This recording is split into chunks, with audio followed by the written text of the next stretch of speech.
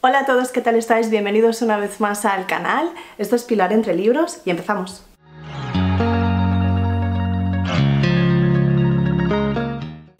Bueno, en el vídeo de hoy quiero hablaros de cuatro de mis libros que yo podría considerar que hoy en día son mis favoritos del mundo mundial. Ya sé que los favoritos van cambiando, pues a mí por ejemplo me han cambiado mis favoritos con la edad, con la situación, con la experiencia y bueno, no son libros que quizá en 6, 7 años pueda igual considerar mis favoritos, pero hoy en día sí que son los, por ejemplo, los cuatro libros que yo me llevaría a una isla desierta son estos. Entonces, bueno, quiero... no son muchos porque tengo muchos libros que me gustan, pero considerarlos favoritos tiene que ser algo ya un poco más allá. Tiene que ser eh, los recuerdos que yo asocio mientras leía estos libros, que, me recuerden a, una época de mi vida, que me recuerden a algo. Y, y, bueno, pues estos son los libros de los que os quiero hablar hoy.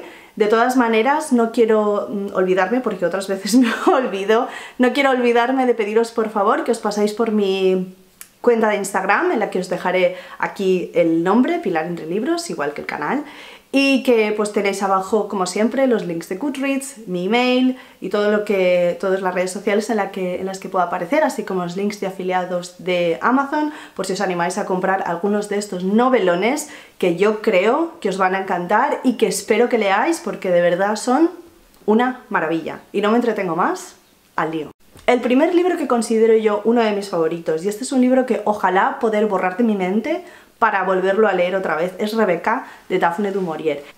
Este libro me parece a mí una obra maestra, lo he leído y lo he releído muchas veces, cosa que no suelo hacer, no suelo releer libros por mucho que me gusten, y este sin embargo durante los años lo he leído varias veces, también lo he leído en inglés, he visto todas las adaptaciones que he encontrado, tanto la de Hitchcock como la nueva de, de Netflix, y bueno, la verdad, me han encantado todas. Sí que es verdad que la adaptación de Hitchcock tiene un final diferente al libro, pero bueno, aún así me gustó un montón. Y, nada, por si no sabéis de qué va. Este libro tiene una protagonista que es una chica joven y es una dama de compañía de una señora adinerada. Y están de viaje en, en Mónaco, se alojan en un hotel y durante esa estancia la señora mayor, bueno, no se encuentra muy bien y la chica joven, nuestra protagonista, tiene que bajar a comer al, restaurante del hotel sola y ahí conoce a otro huésped que es un señor que se llama Maxim de Winter. Maxim de Winter es un señor bastante adinerado que es viudo, viudo además de manera bastante reciente y está de viaje solo para alejarse un poco de, todo.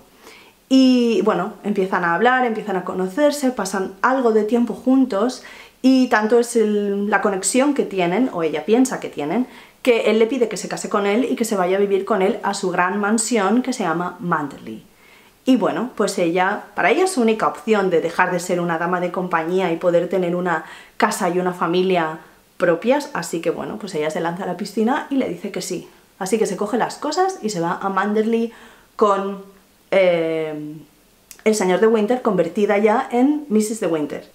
Una vez ella llega a Manderley, ella rápidamente se da cuenta de que la sombra de la primera señora de Winters, que es Rebecca, está por todas partes, en cada rincón de la casa. Está en la manera en que los sirvientes la, la, comparan con, con, la primera señora de Winters. Está en que todavía están todas sus cosas puestas en el mismo lugar donde las dejó, no han tocado nada, está su ropa en el armario, siguen sus toallas con las iniciales bordadas en el baño, sus eh, cartas con el monograma arriba, está, está todo en el mismo sitio donde Rebeca lo dejó. Y encuentras trozos de Rebeca, sombra de Rebeca, y, la protagonista empieza un poco a, sufrir un poco de ansiedad, de paranoia, de pensar que Rebeca la está observando por, las, por, los pasillos, esa inquietud, esa, esa sensación de nunca ser lo suficientemente buena. Nuestra protagonista obviamente pronto empieza a indagar y empieza a intentar averiguar qué es lo que pasó con la primera señora de Winters, cómo falleció, porque esto también es algo que nadie se lo ha dicho, todo el mundo le ofrece explicaciones muy vagas y nadie va a algo concreto, así que ella decide empezar a hacer algunas averiguaciones y algunas eh, preguntas incómodas. Esta novela pertenece al género de, novela gótica, sin embargo para mí tiene un poco de varios géneros, porque lo que puede empezar pareciendo una novela más o menos romántica, tiene una mitad la mitad del libro más o menos, me resulta un poco thriller psicológico, que es la parte donde ella empieza a sentirse muy inquieta en la casa y empieza a ver a Rebeca por todas partes en sus sueños, cuando se levanta por los pasillos oscuros. En cada habitación que entra siente que Rebeca la está observando y la está juzgando por estar ahí, por estar tocando sus cosas, por estar en su casa con su marido, porque todavía es suya y le pertenece. Y esa, esa sensación de opresión eh, se transmite muy muy bien y yo creo que en la segunda mitad del libro te llega muy bien y para mí eso tiene mucho de thriller psicológico. Y la última parte del libro, donde nuestra protagonista ya va desentrañando todo lo que pasó con Rebeca, con su muerte, eh, si realmente fue un accidente, si no lo fue, y, todo eso tiene mucho de, novela negra. Entonces es, un, es una, sí, es una novela gótica, pero tiene de varios géneros y es un mix para mí muy muy interesante que hace que sea de verdad única. Algo que llama mucho la atención de esta novela también es que yo siempre digo nuestra protagonista y es que de forma deliberada eh, Daphne du nunca le pone nombre a la protagonista. Está tan, tan en la sombra de Rebeca que ni siquiera sabemos su nombre. Y nos deja ver un poco cómo es esta protagonista por su manera de vestir, por las cosas que dice. Y nos la presenta como una mujer muy joven, muy ingenua, muy insegura, un poco pusilánime también, con muy poca capacidad de tomar decisiones y pues nos la presenta así, pues es una protagonista un poco débil y no es de extrañar que cuando ella llega a esa casa y tiene esa presencia tan abrumadora, se vuelva cada vez, cada vez, cada vez más pequeña. Es un personaje que tiene un aspecto o tiene una, una presencia bastante débil, que es muy fácil que en presencia de lo que fue la señora de Winters, la primera señora de Winters, que era totalmente lo contrario a ella, y esto es algo que ella va em, averiguando una vez llega a la casa por lo que los criados le cuentan, de, ella empieza a indagar de cómo era Rebeca, empieza a preguntar y todo el mundo le dice que era una persona encantadora, que tenía una personalidad arrolladora, que, que siempre era el centro de atención, es todo lo opuesto a ella. Y ella empieza a preguntarse por qué un hombre como Maxime de Winters, se ha podido fijar en alguien como ella que es totalmente opuesto a lo que fue su primera mujer. Daphne du Maurier define a los personajes de esta novela de una manera excepcional, ya no solo la protagonista principal y cómo nos la presenta, sino para mí uno de los personajes estrella de esta novela es el ama de llaves, Mrs. Danvers. El personaje de Mrs. Danvers representa muy bien esa, sensación opresiva y, es un personaje muy inquietante, un poco fantasmagórico, que nuestra protagonista averigua muy pronto que sentía una desmesurada adoración por Rebeca. Con lo cual, pues bueno, ella a la hora de dirigir la casa siempre piensa que las decisiones que tomó Rebeca son las acertadas y si nuestra protagonista quiere hacer algún cambio en, en la manera de llevar la casa, obviamente es incapaz de imponerse a esa presencia de Mrs. Danvers. Es un personaje que me encanta, le da una fuerza inusual a la, a la novela. Es como una extensión de Rebeca. Aunque Rebeca ya no esté ahí, está Mrs. Danvers. Y, y me encanta, me encanta ese personaje. Me parece que está definido de manera espectacular. Nunca me cansaré de recomendar esta novela, para mí es una obra maestra tanto en definición y arco de desarrollo de los personajes como en ambientación, en, giros, en plot twists, en, en todo. De verdad que si no habéis leído Rebeca todavía, pues hacerlo ya. El segundo libro del que os quiero hablar lo leí en realidad el año pasado y se catapultó a uno de mis libros favoritos porque desde que lo leí no he podido parar de pensar en él. Además es un libro muy finito. Estoy hablando de Piranesi de Susana Clark. Este libro, y os voy a ser sincera, es el libro más extraño que yo he leído en mi vida. Es el libro que te da la sensación de que estás leyendo palabras y no sabes lo que estás leyendo. Y esa sensación te acompaña un poco y leer Piranesi es un poco como un ejercicio de fe Tú tienes que ir con los ojos cerrados, disfrutando del trayecto hasta que en algún momento todo empieza a encajar y todo empieza a cobrar sentido. Y la verdad es que es una novela que no encontrarás una sinopsis más allá de lo que yo os voy a contar ahora, porque es un libro de verdad que cuanto menos sepas, mejor. Voy a intentar contaros un poco de qué tratas, pero nada más, porque es un libro que ya os digo que hay que ir con los ojos cerrados y dejándose llevar, porque este libro es un poco como un sueño. Está contado de forma muy onírica, muy lírica y la verdad es que es precioso de leer. Está contado en primera persona y la persona que nos cuenta la historia es el propio Piranesi, que es un hombre de unos treinta y pocos años que vive en un sitio bastante peculiar. Vive en una casa, pero en una casa no como nosotros tenemos una imagen de una casa en nuestra cabeza, sino es una casa que no tiene principio y no tiene final. La casa de Piranesi es todo su mundo. Él se pasa los días yendo de una habitación a otra, de un salón a otro y descubriendo y explorando todo lo que la casa tiene que ofrecer. Tenemos habitaciones donde hay enormes estatuas de mármol, tenemos habitaciones donde hay una vegetación enorme, donde casi no se puede pasar, con pájaros dentro, tenemos habitaciones que se inundan con las mareas porque sí, la casa tiene mar por dentro, es una casa donde llueve, es una casa donde hace frío en algunas salas, donde hay nieve en otras, donde en algunas salas hace muchísimo calor. Y e, es una casa que es realmente todo un mundo. Y Piranesi vive ahí dentro. Y así se pasan los días. Él se pasa los días como cartografiando un poco la casa. Y va anotando todos esos hallazgos en unos diarios que él lo tiene como a buen recaudo del, salitre, del mar y, del sol. Y esos son los diarios que nosotros vamos leyendo. En realidad nosotros leemos las entradas de los diarios de Piranesi. Se ha inventado su propio sistema de calendario y asigna los años a acontecimientos y asigna los días también por cosas que le han pasado. El día 3 en el que el albatros se posó sobre el ala oeste de... así. Y el principio del libro es así, acompañas a Piranesi en su día a día, mientras va a recoger algas y las seca, que es lo que él come, mientras va investigando la casa y va encontrando tesoros para él y los va guardando, los va recopilando y va contándote un poco cómo es él.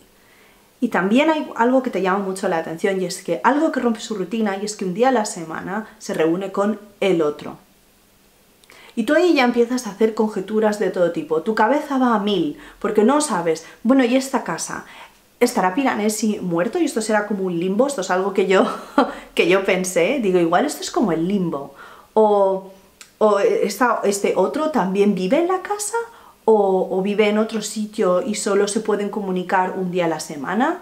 No sabemos exactamente qué pasa, no sabemos exactamente por qué el otro solo está los martes allí y, el resto de la semana no está o no le ve, o la casa es tan grande que vive en otra parte de la casa de forma completamente y, no puede estar siempre. No, no, no sabes nunca, no sabes lo que está pasando, no sabes lo que estás leyendo, pero está escrito de una manera tan bonita a mí me atrapó, me atrapó desde la primera palabra. La casa de Piranesi recuerda muchísimo a los grabados que hacía el artista italiano Giovanni Battista Piranesi, que se dedicaba a grabar mm, cárceles romanas, pero de una manera en la que eran un poco como un juego visual, llenas de escaleras que se entrecruzaban, planos imposibles y también un poco así como, bueno, como una especie de laberinto. Y eso eran las cárceles por las que se hizo famoso Giovanni Battista Piranesi. Sin embargo, para nuestro Piranesi, su laberinto del Minotauro, como, como le llama, para él es su hogar, no es ninguna cárcel, aunque tú como lector lo puedas percibir así. Es un libro muy sensorial, es un libro muy extraño, que a mí me atrapó desde el principio hasta el final, o sea, me lo bebí. Y es un libro que ojalá pudiese olvidar porque esa sensación de sorpresa que yo tuve leyendo este libro, yo creo que no lo he tenido con ningún otro libro además. Una de las cosas que más me ha gustado de este libro, por supuesto, es el personaje de Piranesi, porque Susana Clark lo ha hecho de una manera que lo ha desprovisto de toda maldad posible. Piranesi vive solo en esa casa y para él no existe la opción de buscar una salida. Él no está buscando una salida, no está buscando un porqué, no está buscando quejarse, no se victimiza, él simplemente está allí, disfruta, a pesar de que tiene una vida bastante eh, dura, porque tiene que sobrevivir día a día buscándose la comida, no tiene ropa, no tiene zapatos, y tú le estás viendo y no hay una queja por su parte, no hay una pega por su parte. Es una persona desprovista de toda maldad, de todo engaño, de toda traición, de toda violencia, y lo único que le queda es como una mirada, en mi opinión, muy infantil y es una mirada muy pura y súper inocente. Y esperas de verdad durante todo el libro que eso no se corrompa, que no llegue un punto en el que él empiece a cuestionarse ciertas cosas que quizá no, no son necesarias. Y la verdad es que es un, libro que a mí me hizo, me hizo pensar mucho, me hizo asociarlo mucho a, a eso, una mirada inocente, una mirada muy muy pura que, tiene Piranesi y eso la verdad es que me llegó mucho mucho al corazón. Definitivamente es un libro muy peculiar, es un libro muy extraño, pero es un libro muy muy finito que recomendaré siempre. Para mí es una obra maestra de Susana Clark. El tercer libro del que os quiero hablar es La vida invisible de Adi LaRue, de Victoria E. Schwab. Este libro a mí la verdad me pilló de sorpresa y una frase resume perfectamente este libro. ¿Qué es una persona sino las huellas que deja? Y esta frase para mí resume el libro de forma perfecta. Es un libro bastante extenso, este sí que es bastante gordito, y es un libro con el que entré sin ninguna expectativa. Lo había visto por ahí y lo cogí básicamente porque la premisa me resultó muy, muy interesante. Y pensé, bueno, esto o bien es un libro que me va a encantar, o bien puede ser pues un truñito. Y vamos a verlo. Y oye, resultó que es que no pude parar de leer. Desde que lo cogí hasta que lo acabé, es que no podía parar. El libro tenemos nuestra protagonista, Adelaine, o Adi, como la llaman en el libro constantemente. Adi vive en el siglo XVIII en un pequeño pueblo en Francia con su familia y creo que al principio ya tiene 23 años o 22 y ya es una edad en la que tendría que haberse casado. Y Adi hasta entonces se ha negado a casarse, rechazado a todos los que le han propuesto matrimonio, así que sus padres deciden ya por una vez casarla con un señor que es bastante mayor que ella, que es viudo. Y no tiene escapatoria, es decir, te tienes que casar y punto. Y Adi siempre decía que ella no es que no quisiera casarse, pero le gustaría tener la opción de casarse si decide casarse con alguien a quien ella quiera. Esa opción obviamente en esa época no existía y llega el día de su boda, Adi le entra una ansiedad importante y decide salir corriendo. Sale corriendo, sale en el bosque, se pone a llorar, se hace de noche, se pasa el día llorando en el bosque y no quiere volver. Y alguien escucha sus lloros y ese alguien es la noche, es decir, el diablo. Se planta el diablo delante de Adi y le pregunta que cómo la puede ayudar. Adi entonces, ni corta ni perezosa, con todo su agobio, le pide que quiere cambiar su destino, quiere la inmortalidad para cambiar su destino y quiere poder decidir. Y el diablo se lo concede. Solamente que, claro, obviamente es el diablo. Hay un poquito de letra pequeña en ese trato que ella acaba de hacer y no tarda nada en saber cuál es. El diablo la ha desprovisto de la habilidad de que los demás la recuerden. Adi en ese momento vuelve a su casa y ni sus padres, ni sus hermanos, ni nadie del pueblo saben quién es. Nadie se ha dado cuenta de que se ha ido porque para ellos es una extranjera. Directamente su existencia se ha borrado del mapa. Y a partir de ese momento acompañamos a Adi en su inmortalidad durante 300 años en los que ella va pasando por épocas, por países, por situaciones donde puede ver todo, se va a enamorar solamente para ser olvidada a la mañana siguiente, y bueno, es un libro que a mí la verdad me pareció una premisa muy muy interesante, el no poder dejar una huella en el mundo, el no poder dejar una huella en nadie. El trato es que Adi tendrá la inmortalidad hasta que ella decida que ya no quiere vivir más. Ese será el momento en el que el diablo reclamará su alma. Y Adi, por supuesto, se sabe engañada, sabe que esa maldición, eso no era lo que ella quería, y entonces ella se hace una promesa a sí misma y va a decir que ese día nunca va a llegar ese día en el que ella decida que el diablo puede llevarse su alma, nunca va a llegar. Y desde entonces tienen como esa puya, tienen como ese tira y afloja, porque él la intenta engañar muchísimas veces durante esos 300 años para que tire la toalla. La relación entre Adi y Luke, que es el nombre que ella le da al diablo, me parece súper interesante porque él la va visitando de forma periódica durante los años. En un principio igual es una vez al año, en el aniversario de la maldición, luego igual pasa, deja igual pasar 10 años sin saber de él y luego de repente se le aparece.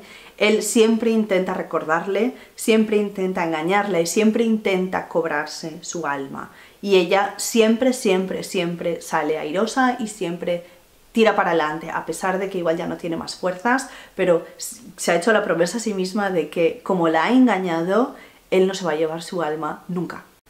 Y vamos dejando pasar los años, vamos acompañando a Adi en su soledad, en, encontrar un poco una salida, en ver un poco la extensión de la maldición que lleva a sus espaldas hasta que está un día en Manhattan, en una librería de segunda mano, y se acerca a alguien que ella vio el día anterior, pero que sabe que no la va a recordar, pero sin embargo la recuerda.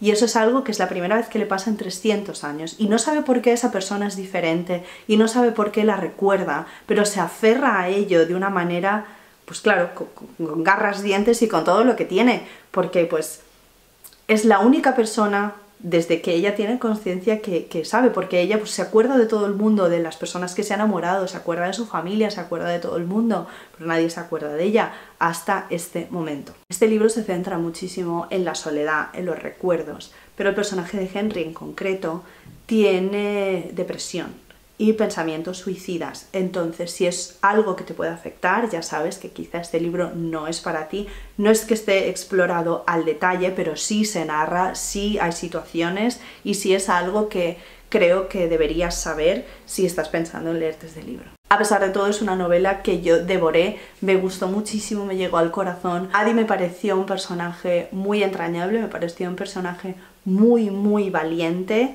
Ya os digo, mmm, te llega, te llega su soledad, te llega su tristeza, pero te llega también su valentía y su manera de, reponerse a, muchísimas situaciones, a tortazo, tortazo, tortazo diario que recibe. Me, llegó su resiliencia también y su, capacidad de superación. Es un libro con partes muy muy oscuras, pero es un libro también con partes muy muy brillantes, que el equilibrio entre esas dos em, luces y sombras, como si quisiéramos llamarlo, la verdad es que me gustó muchísimo. Y es un libro que devoré, devoré del principio al final, me gustaron todos los personajes, me encantó Adi, me gustó Henry, me encantó Luke, me parece que es un, es un libro extraordinario, el final me gustó mucho, mucho, mucho. Y, y, me encantó, la verdad, lo recomendaré siempre, es extenso, pero se lee muy muy bien, es un libro que se lee muy fluido. Yo este lo leí en inglés además y se lee en inglés, la verdad, de forma muy bien, no es para nada complicado, porque la autora para mí escribe súper bien. Yo no había leído nunca nada de esta autora y ya tengo fichados varios libros de ella porque me los quiero leer. Uno de ellos es Galant, que ese sí que tengo muchas ganas de leerlo. Pero bueno, Victoria y Schwab, La vida invisible de Adi LaRue, es para mí una maravilla. Y el último libro del que os voy a hablar hoy es la única novela de ficción histórica que para mí esto es una completa obra maestra. Estoy hablando de Pachinko de Lee Min-jin. Ahora, es la tercera vez que lo digo. Soy un desastre para este tipo de nombres. Bueno, Pachinko. Esto es un novelón. Te va a sacar las lágrimas, te va a hacer reír, te va a estrujar el corazón, te lo va a reponer cuando lo tengas en trocitos pequeñitos. Y luego lo estruja otra vez. Y luego, y así. Así vas.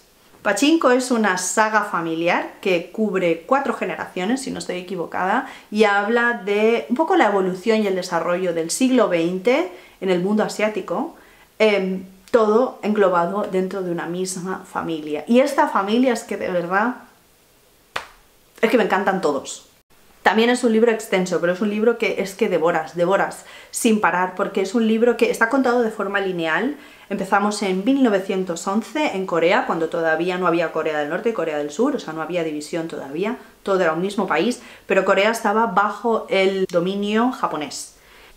El libro arranca en 1911 donde conocemos a Sunia, que es una chica de 15 años, es la que arranca nuestra historia y es la primera generación que, vemos. Sunia eh, con 15 años se queda embarazada sin estar casada, cosa que en ese momento era oh, oh, tragedia. Y no le queda más remedio que pasar por el aro y mudarse a Japón Japón es un país por ese momento muy hostil, es un país en el que no tiene familia, en el que no tiene amigos, en el que no tiene hogar y en el que los coreanos son tratados peor que perros. Es una historia de superación, es una historia de, de sufrimiento, esto es un drama con letras grandes, drama, dramón, pero la verdad es que es una historia en la que las voces femeninas para mí están contadas de manera excepcional. Vemos un poco la evolución de Corea, la evolución de Japón y también vemos eh, cómo viven los asiáticos mixtos coreanos japoneses en Estados Unidos en el futuro. Una particularidad que me gusta mucho de este libro es que no se centra en un protagonista principal, sino que, pues como os digo, en un principio conocemos a Sunia y la historia de Sunia, pero luego damos un salto en el tiempo de 20 años y nuestro protagonista es otro, es el nieto de Sunia o el sobrino o lo que sea. Entonces, eh, tienes otro protagonista principal. Y los protagonistas que has ido conociendo, que sabes su historia, que sabes todo lo que llevan detrás, siguen ahí pero están en el, como en el fondo, están un poco de secundarios ahora. Sunia sigue ahí pero es una protagonista secundaria, es una mujer más mayor. Y nos centramos en otro hilo temporal, nos centramos en otra situación, en otro país, en otro tipo. Entonces hay muchas historias entremezcladas, estamos hablando mucho de tradición, de lazos familiares, de discriminación sexual, mucho, mucho, mucho estamos hablando de este libro de racismo, de inmigración. Es un libro muy, muy completo que la verdad me, me encogió el corazón y es que me gustó infinito.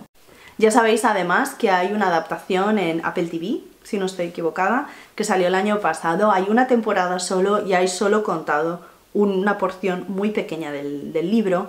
Lo que es un poco distinto en la adaptación de televisión y el libro es que el libro sí está contado de manera lineal, es decir, vamos de 1911, pasamos a los años siguientes y así. Sin embargo, la serie de televisión sí va contándote varias líneas temporales a la vez, va saltando de la vida de Sunia a la vida de su nieto de manera eh, paralela. Entonces, bueno, puedes ver a Sunia a la vez cuando es una chica joven de 15-20 años o cuando es una señora de 70. Y, la verdad es que también está hecho de manera muy interesante, quizás un poco más dinámico así, pero a mí la verdad la forma en la que estaba contado el libro me gustó muchísimo, muchísimo, muchísimo. Y eso sí, el título del, libro, eh, Pachinko, no aparece casi hasta la mitad, yo no sabía lo que eran los Pachinko, y los Pachinko son como unas salas de juegos que en Japón eh, hay, creo que todavía hay, y suelen estar regentados por personas coreanas. Los coreanos en Japón tenían muchísima dificultad para encontrar trabajo, nadie les quería contratar porque les veían sucios, eran como ciudadanos de segunda clase, pensaban que les iban a robar, no eran de fiar, todo lo que te pudieras imaginar eh, eran los coreanos. Entonces, bueno, pues decidieron, en algún momento empezó este movimiento de los pachinko y tuvieron muchísimo, muchísimo éxito, porque creo recordar que pone que en Japón el juego está prohibido, pero los pachinko tienen ahí como un vacío legal y, la verdad es que son muy prósperos, se, se tienen como tintes negativos, regentar un pachinko no es como un trabajo honrado que se dice, sin embargo suelen ganar bastante dinero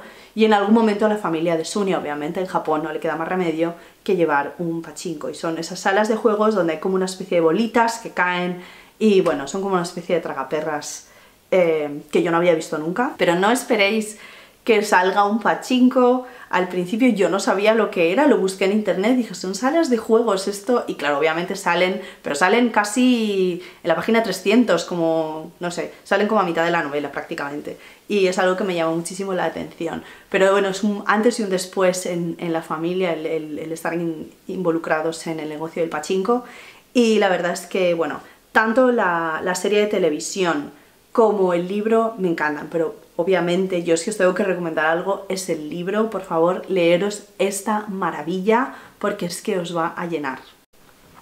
Yo le he recomendado este libro a todo el mundo que, me conoce. Yo creo que no hay nadie que me haya preguntado por un libro y no le haya recomendado yo que se leyera Pachico. Mis suegros, mi marido, la brasa que le habré dado yo a mi marido con este libro. Eh, Así que como no me queda ya nadie más para recomendarlo, pues os lo recomiendo a vosotros. Todos y cada uno de los personajes me parecieron excepcionalmente bien definidos, excepcionalmente bien detallados, cada uno muy independiente, con voces muy propias además, que creo que es muy difícil hacer cuando hay tantos personajes que no se parezcan a la hora de hablar o a la hora de, comportarse, me parece algo muy muy difícil y sin embargo aquí eh, tienen personalidades, tienen voces propias y tienen para mí comportamientos que se adaptan muy bien a la época en la que están situados. Entonces, bueno, eso me gustó muchísimo, como las mentalidades cambian, como lo que tu abuela pensaba ahora para ti no tiene sentido ninguno, como a veces tienes que escuchar a tus mayores porque saben más que tú, porque han pasado muchas cosas que igual a ti no te llegan, pero han pasado muchas, muchas cosas. Y, y bueno, que no me enrollo más, que es un libro que de verdad que lo leáis ya. Y nada, hasta aquí mis libros favoritos del mundo mundial. Estos son los cuatro libros que yo me llevaría a una isla desierta, son los cuatro libros que ojalá pudiera borrar de mi mente para volverlos a leer por primera vez. Cuéntame cuáles son tus favoritos en los comentarios de abajo, si compartimos alguno de estos favoritos de la vida. Cuéntame un poco qué te ha parecido el vídeo, si estás de acuerdo en algunos, si te ha picado la curiosidad con algunas de las lecturas que yo he dicho. Así que nada, espero que os haya gustado muchísimo el vídeo y nos vemos la semana que viene. ¡Chao!